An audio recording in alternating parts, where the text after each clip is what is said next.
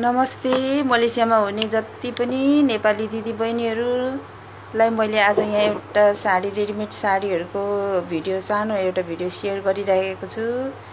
यो बहिनीलाई लगाउनु लगाइरहेको छु। बहिनीले यहाँ लगाएर देखाउँदै हुनुहुन्छ। यो भनेको रेडिमेड साडी।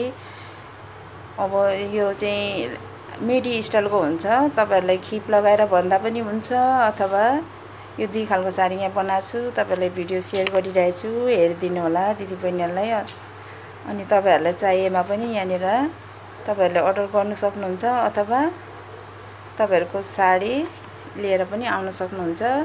यहाँ बहिनीले देखाउँदै हुनुहुन्छ यो चाहिँ तुना भएको यो चाहिँ बान्ने बान्ने स्टाइलको पहिलाको त्यो लुङ्गीहरू थियो हो त्यस्तै हो यो। यो चाहिँ अब खासै जिउको नापसाप केही पनि चाहिएन तर अब लम्बाइ चाहिँ चाहियो। अब कोही हलको दिदीबहिनीहरू हुनुहुन्छ कोही होचो त्यो भएर यहाँ हो त्यो भएर यहाँनिर बहिनीले यहाँनिर लगाउँदै हुनुहुन्छ। ल यो साडी पनि अब एकदम रेडी भइसकेको साडी हो। यो तपाईँहरूलाई अब कस्तो लाग्छ होइन? यो भिडियो हेर्नुहोस्। बहिनीले कतिको छिटो लाउनुहुन्छ। यो चाहिँ बान्ने स्टाइलको है। यो अर्को साडी। ल यो साडी चाहिँ नेपाल जान लागेको साडी हो। नेपालको दिदीबहिनीहरूको अर्डर हो। यो चाहिँ ल यो दुई कलर मिक्स गरेर बनाएको छ यो साडी।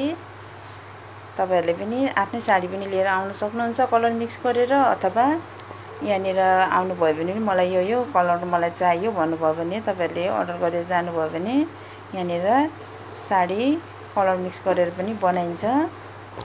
ल हेर्नुहोस्। यो पनि ठिक भयो लगाइ पनि सक्यो बहिनीले। ल। अब यो नेट साडी हो। यो पनि नेपालको दिदी बहिनीले अर्डर गरेको साडी हो। यो लो यो साडी चाहिँ बाहिर बाहिर चाहिँ ब्राउन कलर छ तर तपाईँहरूले अब नेट साडीमा जस्तै कलर लगायो पेटिकोट लगायो त्यस्तै कलर लगभग साडीको कलरहरू चेन्ज हुनसक्छ। त्यो भएर कतिपय दिदीबहिनीले नेट नलगाइकन भित्र पेटिकोट बिना पनि बनाउनुहुन्छ।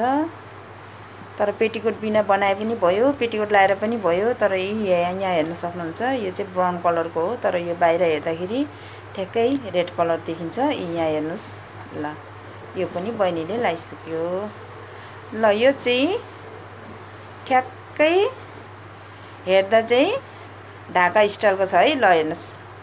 यो नेपाली ढाका स्टाइलको छ यो साडी। यो चाहिँ ल। यो चाहिँ यो पनि खिपवालै हो। यो तपाईँहरूको जत्रै खिपहरू यहाँ तिन चार ठाउँ आठ नौ ठाउँ मैले खिप घर बनाइदिएको छु। तपाईँलाई त्यो खिपमा जुन स्टाइल जुन ठाउँमा तपाईँको कम्मर ठिक हुन्छ त्यहीँनिर लगाउन सक्नुहुन्छ। ल हेर्नु। ल यहाँ बहिनीले लगाएर देखाइसक्यो। ल यो पनि रेडी भयो।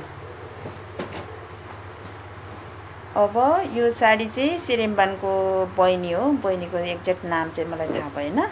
उहाँहरूले पहिला पनि बनाइसक्नु भएको थियो धेरै। अनि यो पनि उहाँहरू त्यही बहिनीले लिएर आउनुभएको थियो तिनवटा साडी थियो उहाँको ल यो आकाशे कलरको। ल यहाँ हेर्न सक्नुहुन्छ बहिनीले कति टाइम ल लगभग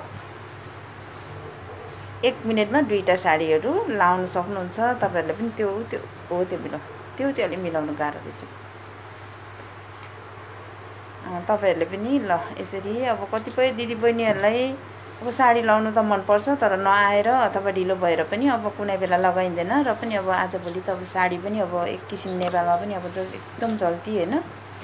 जतिवटा बे उतिवटामा चेन्ज गर्ने चलन पनि आइसक्यो अरे नेपालमा। ल यो यो पनि सेरेम्बानकै बहिनीको साडी हो।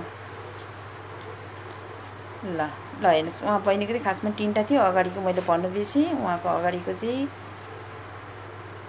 कफी कलरको थियो ल। यो चाहिँ यो यो साडी पनि उहाँकै हो।